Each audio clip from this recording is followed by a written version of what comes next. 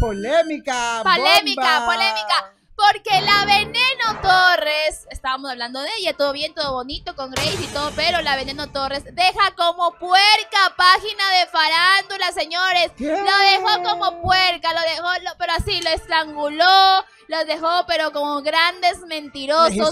Porque completo. hace muy poco esta página de farándula, que qué pena me da por el, por el reconocido y, y amigo de la casa, Vito Muñoz, que tenga alguien, una persona que no hable con la verdad en, en la página, que no tenga credibilidad y que se invente este tipo de noticias para ganar más seguidores, para ganar más comentarios. Qué pena que en vez de apoyar a los ecuatorianos y hacer que brillen más en el extranjero, se comienzan a inventar un sinnúmero de situaciones como lo hizo esta página, mi querido Rafael Peralta, Ponchamos. que le pusimos hasta la X, le pusimos hasta una cruz, porque no hay que hacerle caso a este tipo de personas que no van a la fuente, que no investigan, que simplemente le mandan un chismecito y en vez de hacer su trabajo, porque son reporteros de escritorio, porque se están ganando la plata a vaca y no les gusta trabajar, hacen este tipo de situaciones perdido la credibilidad total anunciando que supuestamente una amiga de Yailin se sintió acosada por la Veneno Torres. Pero para darles en la boca a todos ustedes que están sufriendo y están pendientes que está haciendo la Veneno Torres, póngame play a esa nota. En exclusiva, la Veneno Torres entrevista a la más viral Yailin en este momento. Yo le digo que las mujeres solas y podemos sacar a nuestros niños adelante. queremos conocerla. Gracias, gracias, gracias colegas. Muchas preguntas. Gracias, mi bella hermosa. Soltera, soltera. Gracias. Gracias. Gracias. Colombia. Colombia, Panamá. Gracias, colegas. Gracias, gracias, colegas. Gracias. Solo esperen. solo- Ahí Peralta de seguridad de Yailin. ahí está, con pruebas. La interrogante que ponía la Veneno Torres en sus historias de Instagram, donde decía, entrevisté o no a Yailin, la más viral, y veía como ella, su persecución, ¿no? Hacia Yailin, porque esa es la Veneno, ¿no? Tratar de... Y embarazada, busca de la- querido. Eso, eso, eso cabe rescatar y destacar también a su vez en el estado de gestación que se encuentra la Veneno. Bloque anterior hablamos de que el, el estar en estado de gestación no es una enfermedad, más bien ella está demostrando definitivamente el amor, la pasión al periodismo. Y tengo que decir las cosas como son.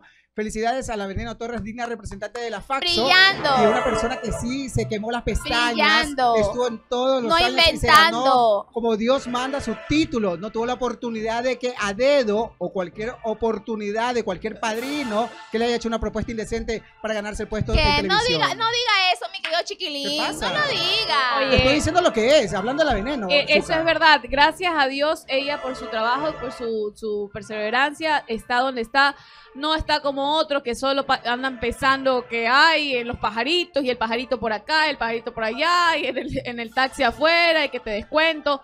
Nada de eso. Yo creo que ella sí sabe hacer las cosas con profesionalismo y no se va con los castings eh, de una A puerta cerrada. Los castings de cama a, A puerta, puerta- cerrada para ser reportero, para ay que incursionar y que, y que No, participante y que en el buscando, buscando al mejor reportero, nada de Mira, eso. Yo bien creo que ganado. yo creo que está bien, o sea, está súper bien el trabajo que ella está haciendo y por supuesto tener una nota de Yailin, la más viral, tener, ¿sabes lo que significa esto? No, no solo en el Ecuador, sino internacionalmente, en el momento en que ponga a Yailin y decir está soltera, sí está soltera. Ojalá que, mm, ojalá que ella se haga, se haga ver mucho más de lo que ya estamos notando y por supuesto ah, por ahí y quizás eh, la vemos triunfando en, en otros países como una reportera. Esperemos una- que sí, pero porque te das cuenta que Yailin le para bo- bola solamente a la cámara de casa en casa y a la entrevista de, de nuestra querida Veneno, porque la mayoría de preguntas que le hacen los otros entrevistados le piden saludos para Panamá, Venezuela, no sé qué,